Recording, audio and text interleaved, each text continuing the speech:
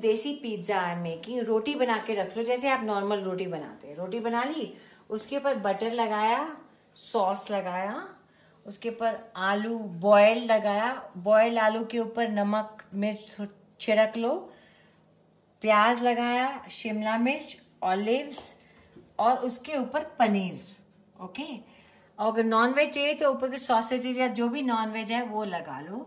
और उसके बाद नमक लाल मिर्च, काली मिर्च, जो भी आपको मसाला चाहिए, लगा के आप इस अवन में रख लो। अवन दिखाओ भैया, खोल के। ये अवन में हमने रखा, ये हमारे पिज्जा बन रहे हैं। और इसमें कुछ भी चीज़ नहीं है चीज़ नहीं है, पनीर है और रोटी है। Thank you